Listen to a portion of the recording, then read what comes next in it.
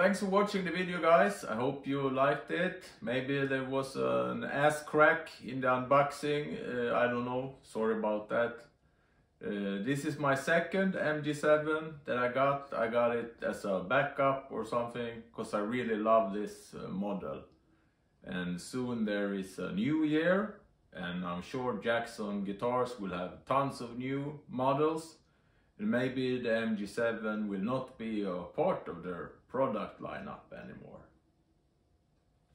Ah!